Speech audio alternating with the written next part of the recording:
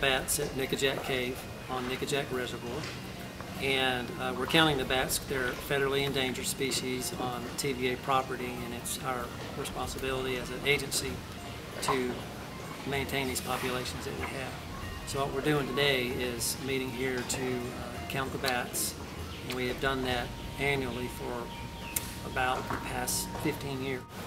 Yeah, so inside the cave, um, closer to where they're all uh, roosting at the moment, we've set up a thermal camera which will more accurately capture them during their emergence.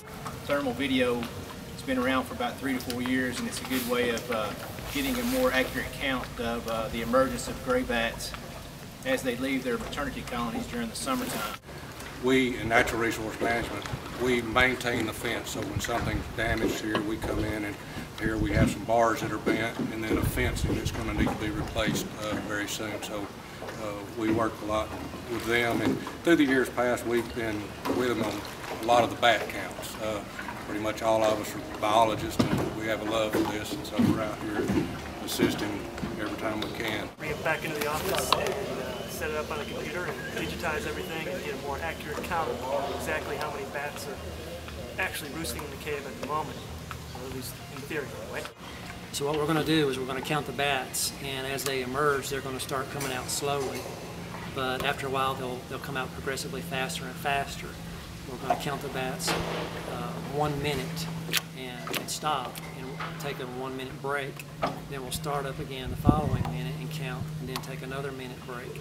And what this allows us to do is allows us to calibrate our count with a number of bats, because at first, the number of bats are really slow and they're easy to count, but after a while they get really fast. TVA and TWRA has had a good partnership with this cave and many others for years, and we're working together on the in the Tennessee Bat Working Group in the uh, White Nose Syndrome response effort here in Tennessee, and uh, formed a good partnership over the years. Uh, currently, gray bats have not been found to have white nose syndrome.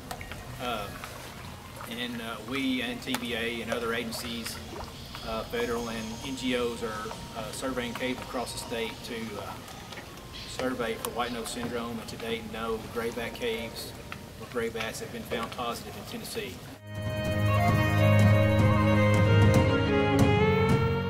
So they sound like. So there's so many.